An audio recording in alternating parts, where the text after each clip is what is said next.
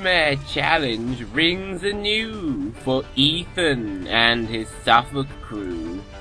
They've dodged a snake and charmed a maid, and with a gem a guard they've paid. Their pact with Hordriss holds the key to breaking into level 3. Can Ethan find Medusa's eye? I'm sure he will. At least he'll try. For now the team must think with care as Merlin tests their mental flair. So will they answer well? Let's learn for time will tell, and time will turn. Is that definitely the right number, Rach? Yeah. Richard the First. Truth accepted. This deadly weapon isn't yours. It isn't hers or his. For it belongs to me, you see.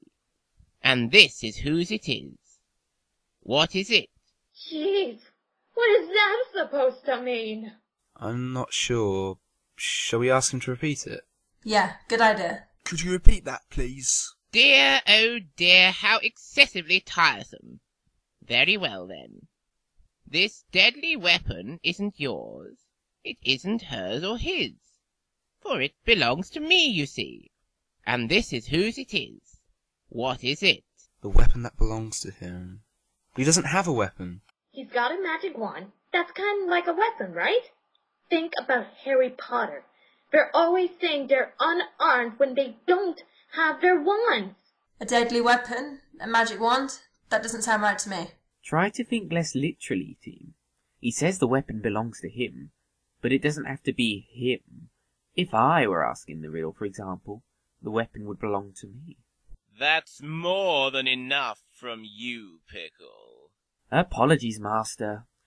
Why are you all looking at me, team? We're trying to see what weapons you got. No, no, no. Think about the actual words of the riddle. Come now, Ethan. I must insist upon an answer, please. What shall I say? Should I try want? I suppose we'll just have to go for it. Yeah, I think we should. Rach? Well, it's not the right answer, but I can't think what else it might be, so yeah. A wand. Falsehood.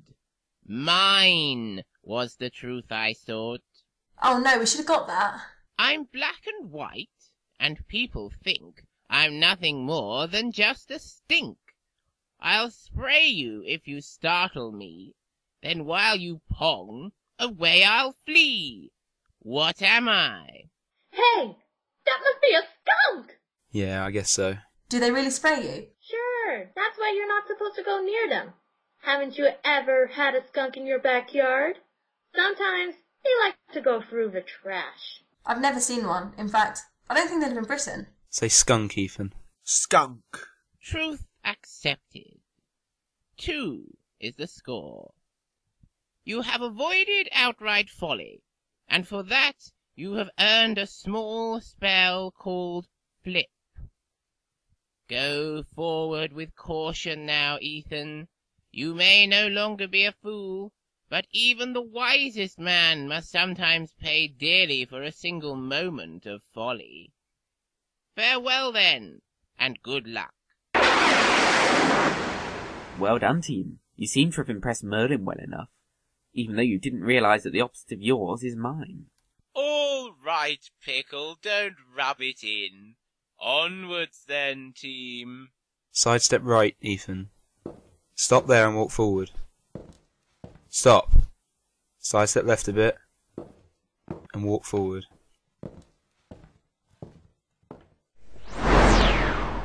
Where am I? You're standing at the top of a flight of stairs in the corner of a large grey room, and there's a table in the middle of the room and a door on the left wall. There's some stuff on the table. Yes, this is the level two clue room team. There's much to be discovered here, no doubt. So, what's keeping you? Sidestep to your right, Ethan. Can you feel the banister? Yes. Come down the steps then, and walk forward until you can see the table.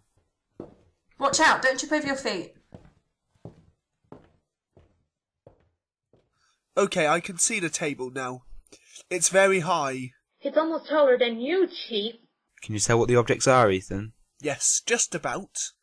There's a scroll, a bar of gold, a yellow necklace, a magnifying glass, and a compass. You mean for drawing circles? No, for finding your way. A magnifying glass. Isn't that a spyglass, Master? I believe it is, Pickle. I never thought I'd see one of those in this clue room, I must say. Read the scroll, Ethan. Okay. It will lead you in the right direction if you let yourself get strung along. That's got to mean the compass, right? I don't know. Strung along might refer to a necklace, mightn't it? Remember, team, information is power. That's why we read the scroll, isn't it? There's another potential source of information on that table, team. Shall I lift the spyglass? Yes, do that. But just who will we see on the other side, Master? I think we're about to find out, Pickle. You are beginning to try my patience, you third-rate seaman. The portal to our domain will appear on your ship when we see fit to open it, and not a moment sooner. Of course, dear lady. I merely wish to remind you that the cargo you ordered is ready and waiting in my hold. You presume to remind Queen Maldame, supreme ruler of the Mire world, of what she already knows full well. As I told you yesterday, my servants will be with you at my earliest convenience. Ah, yes, so you did. And uh, the payment? Will be delivered in full as we agreed. Unless, of course, the quality of the merchandise does not meet our expectations, in which case we shall have to renegotiate the price. Madame, I assure you that the ahem, goods are of the finest quality. I shall be the judge of that, Nemanor. And I shall also be the judge of whether our trade arrangement is to continue after this transaction. Most Supreme Majesty, I am hopeful that this will be the start of a long and prosperous business relationship between us. That remains to be seen. And I must warn you that should you allow any dungeon-dwelling interlopers, especially the ones they call dungeoneers, to use the portal to sneak into the Mire world, I shall look upon you with extreme disfavor. My ship carries no passengers, my lady, and the portal that once linked it to the realm of Knightmare has been closed for many years. I give you my personal guarantee that your security will not be compromised. Very well then. When I am ready, I shall open the portal and send my servant through to make the trade with you.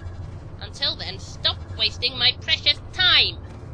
Oh, the screen just got black. Put the spyglass down, Ethan. Yes, we can see you again. Well, Master, it looks like Maldame has really stamped her authority on Marblehead. She's making full use of Lord Fear's inner chambers and his communication screen. All of which our Lord fears no longer, it seems, Pickle.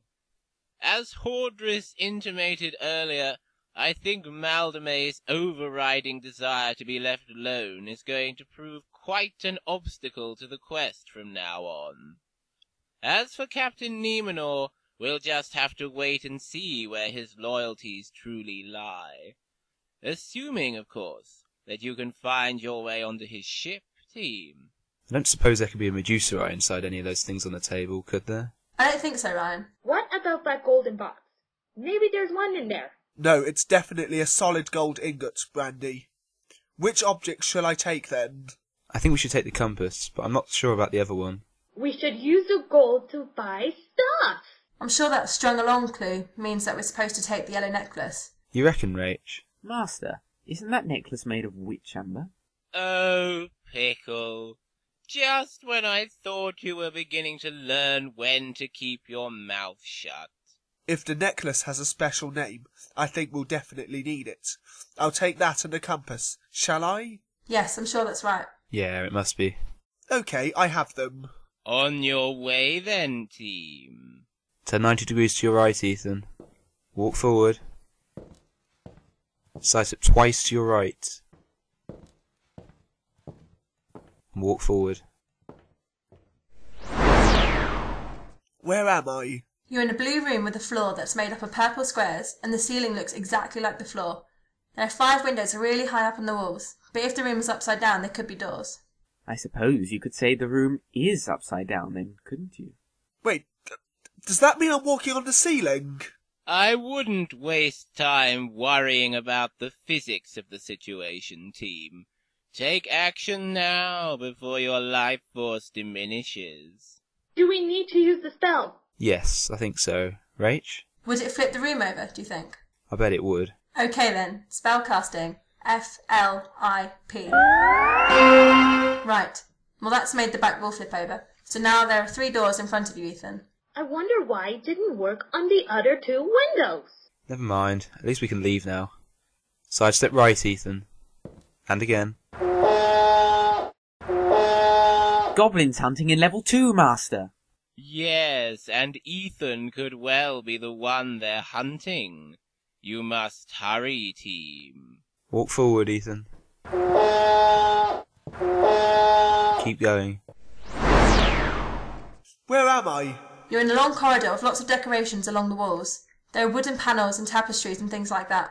It looks like it should be part of a stately home, and there's a large doorway in the left wall, and another one further along it in the right wall. Sidestep to your right, Ethan. Can you see something on the floor by your foot? Yes, it's a jam tart. Put it in your knapsack. Okay. Someone's just come through the door on your left, and they're running toward you. I think it's the witch. She's got a broomstick anyway. Hello there. Can you point me in the direction of Witch Haven then? Hey, hey, hey. Used to be here, it did. Hey, hey. But now there's no sign of it. Oh dear, Master. It's that demented old crone Heggatty. She won't have much luck if she's trying to find Witch Haven. Lord Fear destroyed it ages ago. Yes, Pickle, but I don't think that should be the focus of Ethan's exchange with the wayward witch. Far better to try and steer the conversation towards a more productive subject, team, don't you think? If she's a witch, maybe we're supposed to give her that witch amber stuff. Oh yeah, Ethan. Tell her you don't know where Witch Haven is, but you've got something she might like. I'm afraid I don't know where you can find Witch Haven, but I have something for you. Got something for me, have ya? Hey, hey, hey. What you got for Heggatty then? Hey, hey. Wait a minute. Ask her what she's got for us first. What have you got for me? Oh, witches don't work like that, no. I've got to see what you're offering. What you got for Heggatty? Hey, hey. Tell her, Ethan. I've got this necklace made of witch amber. Oh, Heggatty likes witch amber, Heggatty does. What do you want in return then? Hey, hey. Something that will help me in my quest. What sort of thing? Magic, maybe? What sort of magic? Guys? Come on, team. What do you need? I don't suppose there's any chance she's got a Medusa eye. But I guess you might as well ask her, Ethan. Have you got a Medusa eye? Funny you should ask that. Hey, hey. I've been carrying a Medusa eye around with me for years. Hey, hey, hey. I swapped it for a spell long ago, but I could never find any use for it. But I'll swap it for some witch amber, I will. Wait a second. Ask her if it's in a suitable container, Ethan. Is it inside something solid? I don't want to be turned to stone. Course it is. In a small chest, isn't it? Hey, hey. Here it is. Look. She's taken a box out of her cloak, and she's holding it out to you. Give her the witch amber, Ethan, and take the chest at the same time. Well done. Eh, well, that's a fair trade we've just done, and no mistake. Now, I'm away to look for Witch Haven somewhere else. It's obviously not here. Maybe I'll take a look on level one then. Hey, hey. Perhaps it's there. See you later. Oh dear, Master. I don't think Heggatty will have any more luck trying to find Witch Haven on level 1 than she did on level 2, do you? I doubt it, Pickle. But then I suppose we can't know anything for certain with the dungeon in its current state. Should we call that wizard now? The goblins return, team. I suggest you find some safer ground before you renew your acquaintance with Hordriss. Walk forward, Ethan. Stop. Should we just take him through the left door? It's much closer.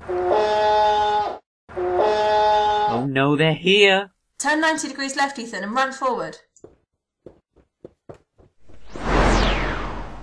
Where am I? You're in a cave with two stalactites hanging from the ceiling. We can see, like, the night sky through a big hole in the back of the cave, but I can't see a way out. There's no sign of goblins here, team. At least for the moment. Don't you think you better take full advantage of the situation? Call the wizard! Call Malefact three times, Ethan. Malefact. Malefact. Malefact. Greetings, Ethan. I assume you have the object I asked for. Hand him the box, Ethan. Here it is. Thank you. Well now, let us waste no time and be on our way to level three. Ostium Revelanti. A door has opened in the wall on your right, Ethan, and we can see the deck of a ship beyond. Yes, that's the Cloud Walker, all right. Let's just hope that my friend Captain Nemanor is in an accommodative mood today. Come along, Ethan, this way. He's taking you by the shoulder, Ethan. Just let him guide you. Right. Okay, you're on the ship now. You're standing on the deck, and we can see a ladder leading up to the bridge. There's a man at the top of the ladder, and he's just drawn a Saracen style sword. He looks like Sinbad the sailor. You, stowaways, what are you doing on my ship? Explain yourselves at once. Come now, Nemanor. Is that any way to greet an old friend? Ah, Otris. It has been quite some time since we last downed a pint together. Yes, it was shortly before you got yourself trapped on this ship for all time, I seem to recall. My, but we got into some scrapes, didn't we? Do you remember that waitress in the Syrian port of Latakia who came after you with that vegetable peeler? I had to turn her earrings into vipers before she'd give up the chase. Yes, my friend, I do remember that waitress. And I also remember that you was the one who pinched her on the bottom while her back was turned. Oh, yes, so I did. Ah, good times. Yes, good times. So, what brings you to my ship? A simple desire to use your portal to travel to the Mire world. That is all. Or, my friend? Do you know what Maldame would do to me if she found that I had let anyone use that portal to sneak into her kingdom? Really, Nemanor? Surely our long-standing friendship should take precedence over such a small matter as that. Very well then, Otris. You and I have been through a great deal together, and I cannot refuse you. But as for your helmeted companion, Ethan is with me. I can vouch for no, that is not enough. I recognize a dungeoneer when I see one, and I have been told to take special care to stop dungeoneers from using that portal. If I am to take so great a risk, your young friend must give me something to make it worth my while. If not, he goes overboard to sharks. Well, Ethan, do you have anything to offer the good captain? We'll have to try the compass, I suppose. Would you like this compass? Huh? What use is a compass on a ship that is cursed never to find land? Come now, Nemanor. Surely you still need to navigate through storms and such like. Well, yes, that is true. And I haven't had a decent compass for years. I must admit. Alright then, I will accept it. Put it by the bucket if you would. Sidestep left, Ethan. Can you see the bucket? Yeah. Put down the compass next to it. Then, well, my friend, if you would be so kind as to inform us when the portal opens up. It is already there, right at the back of the hull. I am expecting Maldame's servants to arrive at any moment. Hmm. Then perhaps we had better make ourselves scarce sooner rather than later, if that's all right with you, Nemanor. Be my guest. Come along, Ethan. Let's go. Hordriss is taking you by the shoulder again, Ethan, and he's pushing you forward. Go with him. You're walking through a dark room now? It looks like you're going towards an open chest. That's a hatch, I think. That's right, Ethan. Just step down there if you would. I'll be right behind you. Where are we? You're in a large grey room with shield-shaped holes in the walls and a wooden table on your right. Ah, this is most satisfactory. We have arrived in the Tower of Linghorm, Ethan. I know that you have business here, and that it is none of mine. So now is the time for us to part. Look out for Maldame, won't you? I feel sure she'll be looking out for you. Good luck. Thanks, Hordris. The wizard's walking off. Well done, team. You've made it to level 3. Time to equip Ethan for survival, don't you think? Turn right slightly, Ethan. Good. And walk forward. Can you see the table? Yes. What objects are there? Well, there's a fish which I'm putting in the knapsack. There we go. There's also a scroll, an hourglass, a long needle, a horn, and a bottle that says invisibility on it. Who's in Blaze is gonna be able to sew with that needle? Only a giant could use it. Read the scroll, Ethan. Welcome to Linghorm. The cup is in Marblehead. Be quick and be quiet. Uh, does that help us? I don't see how it relates to the objects. Be quiet could mean we shouldn't take the horn, and maybe be quick means that we should take the timer. The needle is unusual, isn't it? Maybe we'll need that. What about the potion? Well, no, I guess being invisible wouldn't actually make us quicker, would it? Or quieter, for that matter. And with the needle? I don't know. I just think it wouldn't be there unless there was some point to it. No pun intended, Ethan. I guess it could be useful if we need a giant with holes in his socks. Okay, Ethan, take the needle and the hourglass, then. Well, now that you've made your choice, team, you'd best be on your way. Sidestep left, Ethan. Keep going. Stop there. And walk forward. Where am I? You're in a green corridor with burning torches on the walls. There are four green fishmen with tridents walking around in front of you. Mire Men Master! How can Ethan get past them? Well, I'm not entirely sure that he can, Pickle. Mire men may have very poor eyesight, but no one could sneak past four of them at such close range without becoming invisible. Ah, Jeez, we needed a potion. Try turning over the hourglass, Ethan. They're coming towards him. Oh, cow! Oh no, Master! Oh dear.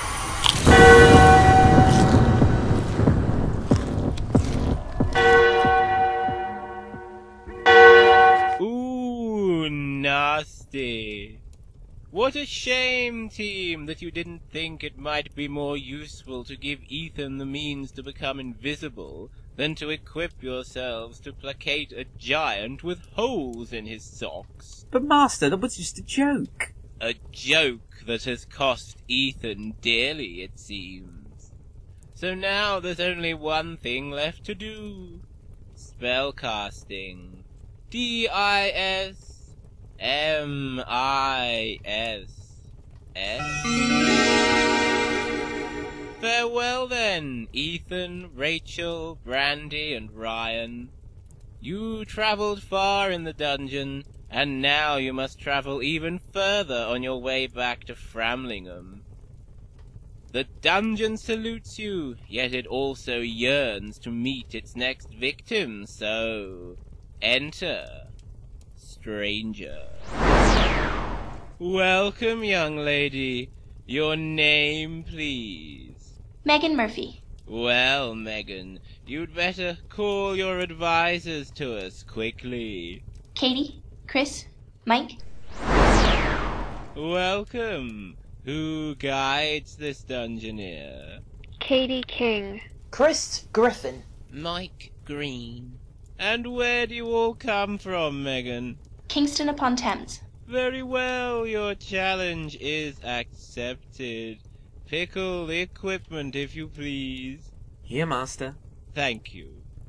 Megan, here is the helmet of justice, which blinds you to the way ahead. Here the knapsack for food to feed your life force. Two objects may you carry at any one time, and remember, the only way is onwards. There is no turning back. Now, are you ready? Yes. Then face the dungeon door and step boldly forward. Where am I? You're in a dark, narrow corridor, so just keep walking forwards. This is a dwarf tunnel, team. It's not a very safe place to linger, Megan, so I suggest you keep moving. Shall I take this turning? Yes, you might as well.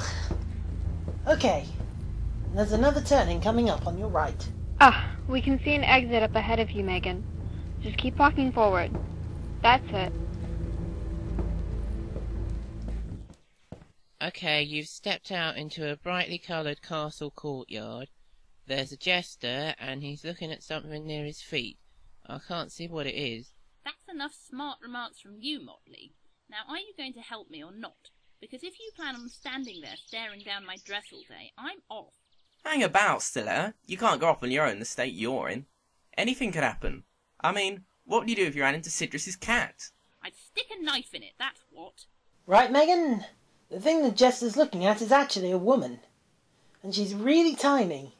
Maybe you better ask if you can help them. Okay. Um, excuse me. Hey up, helmet head. Look here, Stella. It's a dungeoneer. Oh, is it? Hello, Dungeoneer. Look, I don't mean to be rude, but unless you've got some magic to get me out of this fix, then I just haven't got time for you. Oh, come on. We can afford to be friendly. Good manners cost nothing, as me old mum used to say. What's your name then? Megan. Well, Megan, as you might have picked up, my name is Motley, and hers is Stiletta. I bet you're wondering how she got to be so small, aren't you? Um, yes. Well, lovely as she is, Stiletta's a bit of a thief. And back when Lord Fear was in charge down in level 3, she pretty much had the run of the place. Motley, you are not to go blurting out this story to everyone you see, unless you want me to tell everyone why you were once shrunk to the size of a mouse. Yes, well, to cut a long story short, now that the old Iron Maiden's got her mitts on Fear's old place, she set up a whole load of new security measures. So when Stiletta goes trying to nab some of her bits and pieces, well, you can work the rest out for yourself. Should we offer to help? Of course. I bet we can find some magic to get her back to normal. Megan, ask them if you can help. Okay. Is there anything I can do to help? Now there's an idea. What do you reckon, Stiletta? Megan here could probably snag you a bit of magic somewhere on her route through this level. Oh, I say, that is a thought. Would you do that for me, Megan? Say yes, Megan. Hang on. Ask her what we'll get in return. If I do that for you, will you help me with my quest? Well, I'll certainly try. I can be jolly useful when I'm at my normal size. Shall I agree, guys? Yes. All right, I'll help you. Gosh, thanks a million, Megan. Now all I need is a spell to change me back. It doesn't have to be anything fancy. Just an undo or restore spell would be absolutely spiffing. Okay. After you've found the spell, you'd better call us. Tell you what, Stiletta, if you get in my little pouch here, and Megan calls me, you'll be transported too. Oh, yuck! I'm not getting in that thing. Oh, come on, what do you think's going to happen to you? I won't accidentally use me in my juggling act, I promise. And I won't do it on purpose either. So, have we got a deal, Megan? You find the spell and then call my name three times. Got that? Ah, there it goes again. No more from Megan for now, it seems. Passive ones, join us again soon for Knightmare. It's well worth waiting for.